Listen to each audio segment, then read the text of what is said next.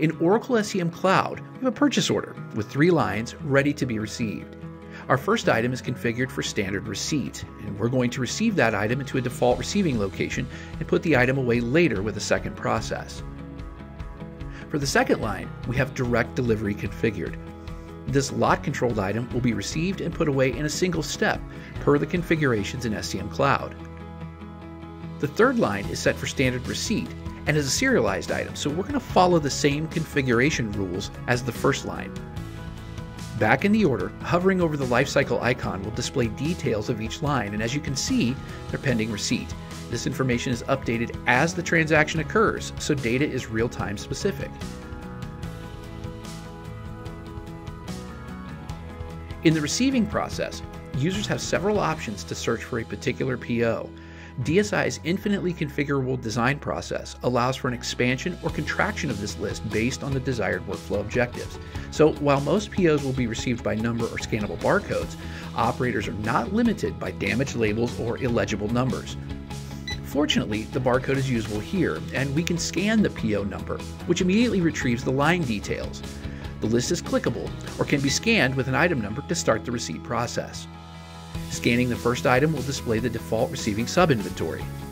Operators can optionally choose another subinventory as needed. Accepting the location will prompt a locator number. Again, this is default and can be changed if necessary. Once selected, a receipt quantity is prompted and the operator enters the quantity received. Once confirmed, the transaction is processed in real time confirmation message displays a successful transaction. The next item in the PO is lot controlled and has rules governing direct delivery. Upon scanning the item, the user is moved directly to the subinventory, which can be scanned and verified at the location. Of course, a suggested locator is provided and overrides allowed if necessary. Considering this is a lot controlled item, the operator will be prompted with a scan enabled lot entry field followed by a quantity. And once successful, the flow moves to the third and final item. This line contains a standard receipt for a serialized item, so we'll follow the same rules as before, suggested receiving location, locator, and quantity.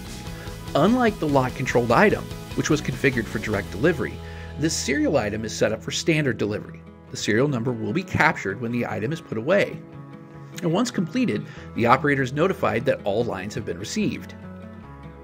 Refreshing the order in SCM Cloud will display the results of the transaction.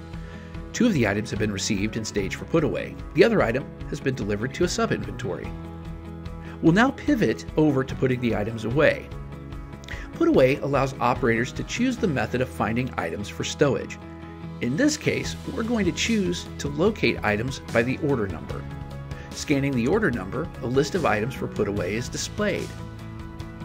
After selecting the item, the operator can scan a sub-inventory and choose the appropriate locator the putaway happens in real time. For the serialized item, serial numbers are requested as part of the putaway process. For ease of use, the process provides a serial range option, which will allow all of the serials to be captured sequentially within a specified range, greatly speeding up the putaway process for serialized items. Once successfully submitted, the order may be refreshed in SCM Cloud and the current information displayed will be correct.